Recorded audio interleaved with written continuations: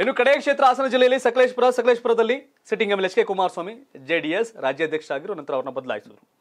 ಮುರಳಿ ಮೋಹನ್ ಕಾಂಗ್ರೆಸ್ ಇಂದ ನಾರ್ವೆ ಸೋಮಶೇಖರ್ ಅಥವಾ ಸಿಮೆಂಟ್ ಮಂಜು ಬಿಜೆಪಿಯಿಂದ ಟಿಕೆಟ್ ಆಗುತ್ತೆ. ನಾರ್ವೆ ಸೋಮಶೇಖರ್ಗೆ ಕಡೆಗಳಿಗೆ ಟಿಕೆಟ್ ಅನ್ನು ಕೊಟ್ಟರು ಸ್ವಲ್ಪ ಮತಗಳಲ್ಲಿ ಸೋತಿದ್ರು ಕಳೆದ ಬಾರಿ. ಸೊ ಈ ಬಾರಿ ಬಂದು ಓಡಾಡ್ತಾವ್ರೆ ನಡೀತಾ ಇದೆ. ನೋಡ್ಬೇಕು ಹೈಕಮಾಂಡ್ ಇನ್ನು ಕೂಡ ನಾರ್ವೆನ ಸಿಮೆಂಟ್ ಅನ್ನೋ ಚರ್ಚೆಯಲ್ಲಿದೆ. ಹೌದು. ಯಾರು ಗೆಲ್ತಾರೆ ಅವ್ರು ಕೊಡ್ತಾರೆ. ಗೆಲ್ಲೋರ್ ಬಿಟ್ಟು ಸೋಲಾರ್ಗೆ ಟಿಕೆಟ್ ಕೊಡಲ್ಲ ಬಿಜೆಪಿ ಅವರು ಸೊ ಅಲ್ಲಿ ಇಲ್ಲೇನು ಅಂತಂದ್ರೆ ಆ, ಕಾಂಗ್ರೆಸ್ ಹಾಗೂ ಅಲ್ಲ ಜೆ ಡಿ ಎಸ್ ಹಾಗೂ ಬಿಜೆಪಿ ನಡುವೆ ಹಣಾಹಣಿ. ಹೌದು. ಕಾಂಗ್ರೆಸ್ ಮೂರನೇ ಸ್ಥಾನದಲ್ಲಿದೆ. ಅದನ್ನ ತುಂಬಾ ವೀಕ್ ಅಂತಲ್ಲ ಮುರಳಿ ಮೋಹನ್ ಕೂಡ ಅವ್ರು ಏನ್ ಮಾಡ್ಬೇಕು ಆ ಬೇಸಿಕ್ ಓಟ್ ಪಡ್ಕೊಳಕ್ಕೆ ಏನ್ ಬೇಕು ಅವೆಲ್ಲ ಮಾಡ್ತಾ ಇದ್ದಾರೆ. ಬಿಜೆಪಿ ಟಿಕೆಟ್ ಫೈನಲ್ ಆದ್ಮೇಲೆ ಚಿತ್ರಣ ಬದಲಾಗಬಹುದು ಇಲ್ಲಿ. ಸಕಲೇಶ್ಪುರ ಬಿಜೆಪಿ ಮತ್ತೆ ಜೆಡಿಎಸ್ ನಡುವೆ ಅವು ಹೇಣಿ ಆಟ ಇರುತ್ತೆ. ಮೇಲೆ ಹೋಗ್ತಾರೆ ಕೆಳಗಡೆ ಬರ್ತಾರೆ ಹಿಂಗ ಆಗ್ತಿರುತ್ತೆ. ಸದ್ಯಕ್ಕೆ ಇಲ್ಲಿ ಜೆಡಿಎಸ್ ಮುನ್ನಡೆಯನ್ನು ಕಾಯ್ದುಕೊಂಡಿದ್ದಾರೆ. ಒಟ್ಟಾರೆ ವೀಕ್ಷಕರೇ ಹಾಸನ ಜಿಲ್ಲೆಯ ಏಳು ವಿಧಾನಸಭಾ ಕ್ಷೇತ್ರಗಳಲ್ಲಿ. ಏನಾದ್ರು ಇಂಥ ಪ್ರಶ್ನೆ ಎಸ್ ಏಳು ವಿಧಾನಸಭಾ ಕ್ಷೇತ್ರಗಳಲ್ಲಿ ಬಿಜೆಪಿ ಒಂದು ಅರಸೀಕೆರೆ ಮತ್ತೆ ಮತ್ತೊಂದು ಹಾಸನದಲ್ಲಿ ಮುನ್ನಡೆಯನ್ನು ಕಾಯ್ದುಕೊಂಡಿದ್ದಾರೆ. ಕಾಂಗ್ರೆಸ್ ಅರ್ಕಲ್ಗೂಡ್ನಲ್ಲಿ ಜೆಡಿಎಸ್ ಶ್ರವಣಬೆಳಗೋಳ ಬೇಲೂರು ಒಳೆನರಸೀಪುರ ಮತ್ತೆ ಸಕಲೇಶಪುರದಲ್ಲಿ ಹೌದು. ಮುನ್ನಡೆಯನ್ನ ಕಾಯ್ದುಕೊಂಡಿದೆ. ಈ ಮೂಲಕ ಬಿಜೆಪಿ ಎರಡರಲ್ಲಿ ಕಾಂಗ್ರೆಸ್ ಒಂದರಲ್ಲಿ ಜೆಡಿಎಸ್ ನಾಲ್ಕರಲ್ಲಿ ಹಾಸನದಲ್ಲಿ ಕರ್ನಾಟಕ ಟಿವಿ ಜನವರಿ ಟೆಂಡಲ್ಲಿ ಮುನ್ನಡೆಯನ್ನ ಕಾಯ್ದುಕೊಂಡಿದೆ. ಮತ್ತಷ್ಟು ಮಗದಷ್ಟು ಆಳವಾಗಿ ಇನ್ಫಾರ್ಮೇಶನ್ ಗ್ಯಾದರ್ ಮಾಡಬೇಕು ಅಂತಂದ್ರೆ ಕ್ಯಾಂಡಿಡೇಟ್ ಅನೌನ್ಸ್ ಆಗಬೇಕು. ಕ್ಯಾಂಡಿಡೇಟ್ ಅನೌನ್ಸ್ ಆದ್ಮೇಲೆ ಹೊಸ ಪಿಕ್ಚರ್ ಬರ್ತದೆ.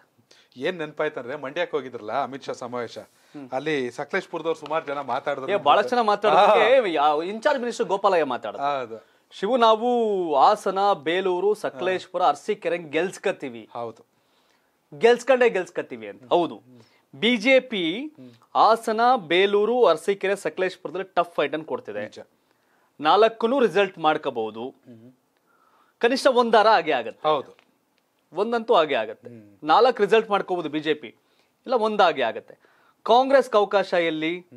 ಅರ್ಕಲ್ಗೂಡು. ಅರ್ಕಲ್ಗೂಡು. ಬೇಲೂರು. ಎರಡೆ. ಮತ್ತೊಂದು ಶಿವಲಿಂಗೇಗೌಡರ ಕಾರಣಕ್ಕೆ ಒಂದು ಮೂರನೇದು ಅರಸೀಕೆರೆ ಅಂತ. ಬಿಜೆಪಿ ಗೆದ್ರೆ ನಾಲ್ಕು ಗೆಲ್ಲಬಹುದು ಕಾಂಗ್ರೆಸ್ ಗೆದ್ರೆ ಮೂರ್ ಗೆಲ್ಲಬಹುದು ಮ್ಯಾಕ್ಸಿಮಮ್. ಹೌದು ಹೌದು.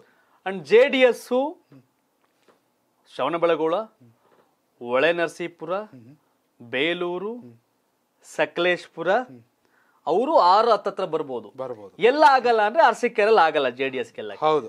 ಇನ್ ಬಿಟ್ರೆ ಎಲ್ಲಾನು ರಿಸಲ್ಟ್ ಮಾಡಬಹುದು ಬಟ್ ಒಂದು ಈ ತರದ ಕಂಡೀಷನ್ ಇದೆ. ಬಿಜೆಪಿ ಗೆದ್ರೆ ನಾಲ್ಕು ಗೆಲ್ಬಹುದು ಜಾಸ್ತಿ ಅಂದ್ರೆ ಕಾಂಗ್ರೆಸ್ ಗೆದ್ರೆ ಮೂರ್ ಗೆಲ್ಬಹುದು ಜೆ ಡಿ ಎಸ್ ಗೆದ್ರೆ ಆರ್ ಗೆಲ್ಬಹುದು ಆರ್ ಗೆಲ್ಬಹುದು ಇಷ್ಟು ಅವಕಾಶ ಇದೆ. ಮ್ಯಾಕ್ಸಿಮಮ್ ಅಂದ್ರೆ. ಹೌದು ಮ್ಯಾಕ್ಸಿಮಮ್ ಅಂದ್ರೆ.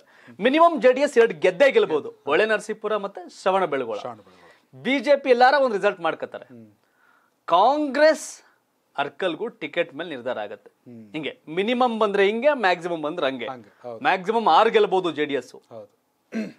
ಮೂರ್ ಗೆಲ್ಬಹುದು ಕಾಂಗ್ರೆಸ್. ನಾಲ್ಕು ಗೆಲ್ಬಹುದು ಬಿಜೆಪಿ. ಮೂರ್ ಕಾಂಗ್ರೆಸ್ ಎಲ್ಲಿ ಅಂತ ಹೇಳಿದ್ರೆ ನಮಗೆ ಅರ್ಕಲ್ಗೂಡ್ ಒಂದು ಅರಸೀಕೆರೆ ಒಂದು ಬೇಲೂರು ಒಂದು. ಬೇಲೂರು. ಬಿಜೆಪಿ ನಾಲ್ಕೆಲ್ಲಿ ಸಕಲೇಶ್ಪುರ ಹಾಸನ ಬೇಲೂರು ಅರಸೀಕೆರೆ. ಹೌದು. ಉಳಿದ ಕಡೆ ಅವ್ರದ್ದು ಆವಾನು ಇಲ್ಲ. ಡೆಪಾಸಿಟು ಇಲ್ಲ. ಎಲ್ಲಿಲ್ಲ? ಶ್ರವಣ ಬೆಳಗೋಳ ಇಲ್ಲ. ಒಳೆ ಅರ್ಕಲ್ ಕೂಡ. ಅರ್ಕಲ್ಗೂಡ ಡೆಪಾಸಿಟ್ ಯೋಗ ರಮೇಶ್ ತಗೋಬಹುದು ಅದು ಬಿಟ್ರೆ ಇನ್ನೆಲ್ಲೂ ಇಲ್ಲ ಬಿಜೆಪಿ ಕತೆ.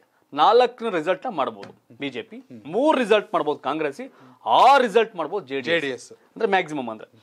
ಇದು ಕರ್ನಾಟಕ ಟಿವಿ ಜನವರಿಯ ಮೆಗಾ ಸರ್ವೆ ರಿಪೋರ್ಟ್ ಮುಂದಿನ ತಿಂಗಳು ಬರ್ತೀವಿ. ನೆಕ್ಸ್ಟ್ ಮಂತ್ ಏನು ಅಂತ ಹೇಳ್ತೀವಿ. ಅದ್ರ ನೆಕ್ಸ್ಟ್ ಮಂತ್ ಅಂತ ಏನು ಹೇಳ್ತೀವಿ. ವೋಟಿಂಗ್ ಇನ್ ಹದಿನೈದು ದಿನ ಇರೋರಿಗೆ ಕಡೆಯದೊಂದು ಸರ್ವೆ ಮಾಡ್ತೀವಿ. ಖಂಡಿತ.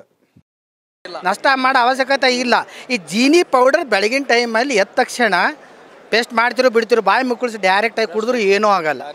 ಯಾಕಂದರೆ ಕುಡಿಯೋದ್ರಿಂದ ಎನರ್ಜಿ ಬರ್ತದೆ. ಬೆಳಿಗ್ಗೆ ಕುಡಿದು ಸಾಯಂಕಾಲ ಮತ್ತು ಹ್ಯಾಂಗಂದ್ರೆ ಬಾಡಿಯಲ್ಲಿ ಎನರ್ಜಿ ಇರ್ತದೆ ಕೆಲಸ ಮಾಡೋಕೆ ಉತ್ಸಾಹ ಇರ್ತದೆ.